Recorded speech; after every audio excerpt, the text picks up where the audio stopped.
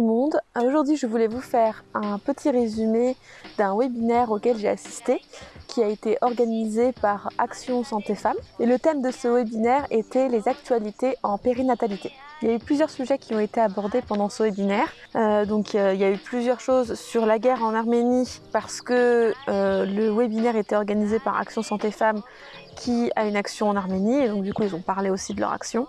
Il y a eu aussi un sujet sur les nouveaux tests de dépistage en néonatologie, un sujet sur les vaccins euh, contre le Covid-19 euh, et la grossesse. il y a eu aussi un sujet sur l'évaluation des maisons de naissance. Pour aujourd'hui, j'ai choisi de parler de trois de ces sujets. D'abord, l'émission d'Action Santé Femmes en Arménie, ensuite le vaccin contre le Covid-19 et la grossesse, et enfin l'évaluation des maisons de naissance. Donc on va commencer par la mission d'Action Santé Femmes en Arménie. Donc Action Santé Femmes, c'est une association qui aide les femmes dans la gynécologie et l'obstétrique et ils sont présents dans 12 pays actuellement. Donc on nous a décrit euh, donc d'abord il y a eu un, gros sujet sur le sur vraiment le contexte de ce qui se passe en Arménie donc un contexte de guerre. Donc du coup ils nous ont expliqué euh, les conditions euh, dans ce pays en guerre, les conditions pour tout ce qui est gynécologie obstétrique. Là où est la mission en tout cas c'est un endroit où il fait très très froid.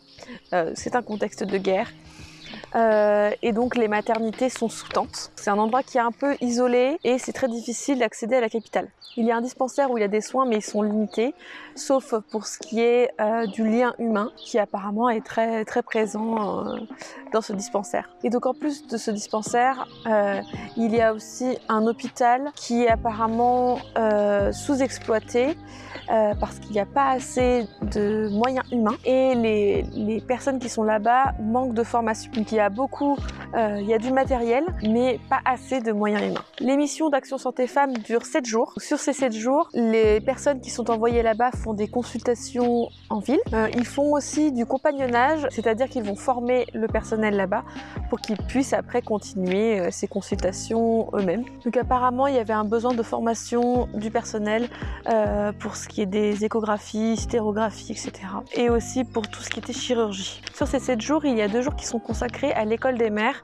Donc euh, c'est un endroit où les femmes enceintes euh, et je crois en postpartum peuvent aller. Et ce qui est fait là-bas, ça ressemble un peu euh, aux séances de préparation à la naissance euh, qu'on a avec euh, nos sages-femmes, où il va y avoir euh, donc des, des, explications sur le travail, sur la grossesse, sur le postpartum, sur l'allaitement. Donc ça c'est un peu pour tout ce qui est théorique et il y a aussi des choses plus pratiques comme des cours de portage, du yoga prénatal ce genre de choses. Donc voilà, je, voulais résumer ça parce que bah, c'est quand même eux qui ont, qui ont organisé ce webinaire et euh, bah, si vous voulez les soutenir, vous pouvez euh, aller sur leur site. Donc ensuite, on va aborder le thème de la vaccination contre le Covid-19 pendant la grossesse. Donc cette partie du webinaire a été basée sur deux méta-analyses, euh, une de 2019 qui a ensuite été augmentée, donc qui concernait les femmes enceintes et la vaccination contre le Covid-19, et une autre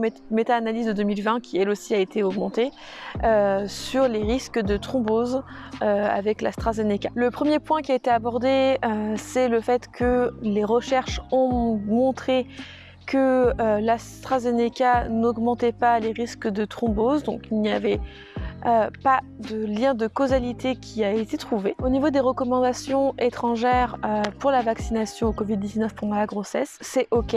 Donc les femmes enceintes sont encouragées euh, à être vaccinées et les femmes allaitantes sont elles aussi encouragées à être vaccinées. Pour ce qui est de la France, les recommandations sont de discuter avec la sage-femme, le gynécologue ou le médecin généraliste, la personne en tout cas qui suit la femme enceinte, et d'encourager les futures mamans à se faire vacciner notamment s'il y a euh, des comorbidités. Pour ce qui est du vaccin en lui-même euh, qui est recommandé, on favorise plutôt celui à ARN messager parce qu'il provoque moins de fièvre.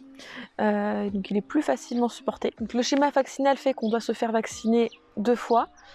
si la première dose n'est pas bien supportée, on recommande d'attendre après la grossesse pour injecter la seconde dose. On recommande de vacciner les femmes enceintes plutôt en trimestre 2 ou 3. Cette recommandation n'est pas liée à un risque plus élevé pendant le premier trimestre. D'ailleurs, pour ce qui est des mamans qui se seraient fait vacciner sans savoir qu'elles étaient enceintes, les études montrent qu'il n'y a pas de conséquences sur le développement du fœtus. Cependant, le premier trimestre de grossesse euh, est caractérisé par un risque plus grand de fausses couches et pour éviter que l'on accuse le vaccin d'avoir provoqué la fausse couche, on préfère attendre le deuxième trimestre ou le troisième trimestre. En ce qui concerne l'efficacité du vaccin, euh, les études ont montré que le vaccin était efficace euh, pour la femme enceinte euh, et qu'il y aurait aussi possibilité de passage des anticorps au bébé. Si vous voulez plus d'informations, vous pouvez consulter le CRAT et aussi www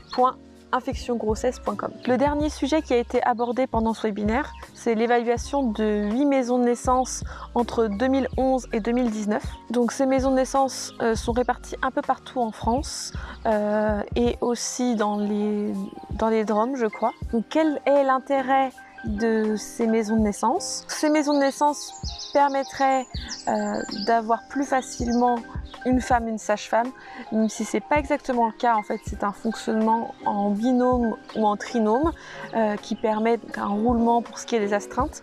Mais les mamans vont rencontrer les deux ou trois sages-femmes euh, de ce binôme ou trinôme. C'est un accompagnement global.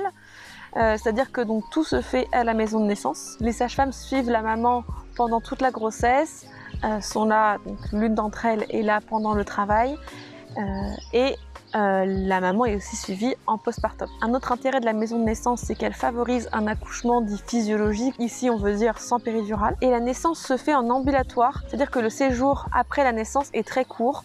C'est entre 9 et 15 heures à peu près. Un autre intérêt, c'est qu'il y a très peu d'interventions pendant le travail. L'organisation de la prise en charge est faite autour de la maman.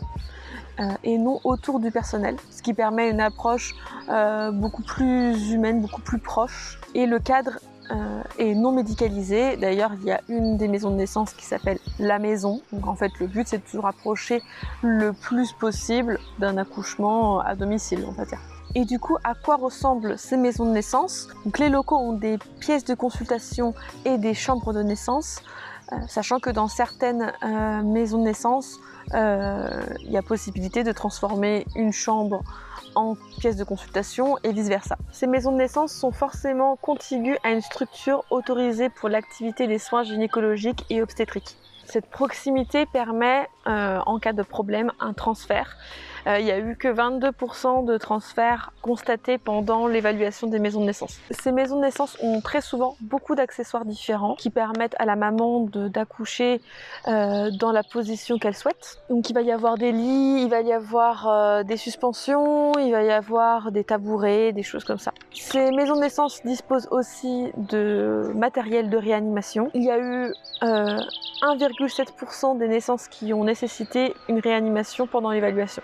Ce qui est de l'utilisation qu'en font les sages-femmes, en fonction des maisons de naissance et en fonction des sages-femmes, il y a soit des sages-femmes euh, qui sont euh, qui, travaillent uniquement sur place, soit des sages-femmes qui utilisent euh, les locaux mais qui travaillent aussi en dehors. Toutes les mamans ne peuvent pas accoucher en maison de naissance, ce sont uniquement pour les femmes à bas risque. Il y a eu cependant beaucoup de primipares et euh, si vous voulez accoucher dans une maison de naissance, il faut s'y prendre très à l'avance parce que les listes d'attente sont très longues. Si vous choisissez d'accoucher dans une maison de naissance, votre parcours en moyenne, ce sera, il y aura un entretien, cette consultation, cette séance de préparation à la naissance. Ensuite, au moment de la naissance, le travail se fait sur place, ainsi que la délivrance et euh, un peu de repos. Et vous êtes ensuite renvoyé chez vous en ambulatoire.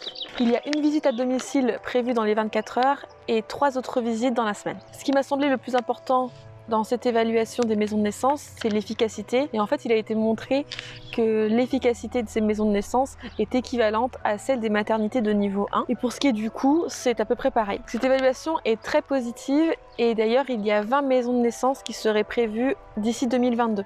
Cela permettrait aux mamans qui hésitent à accoucher chez elles mais qui n'auraient pas envie d'avoir le cadre médical de la maternité de niveau 1 euh, de pouvoir euh, accoucher dans un endroit qui est un peu un entre-deux. J'étais très contente d'assister à ce webinaire qui était très intéressant. Euh, j'espère que ce résumé vous a intéressé, vous aussi. Si vous avez envie de voir plus de contenu sur la périnatalité et surtout sur l'allaitement, n'hésitez pas à vous abonner à ma chaîne YouTube et à mettre la cloche pour être prévenu des nouvelles vidéos. Vous pouvez aussi me suivre sur les réseaux sociaux, surtout sur Instagram, c'est là où je suis la plus active. Si vous souhaitez que je vous accompagne pendant votre grossesse et en postpartum, n'hésitez pas à aller voir mon site www.lavoilactédoula.fr. Je propose aussi des cours de portage. Je vous remercie d'avoir regardé cette vidéo jusqu'au bout et à bientôt.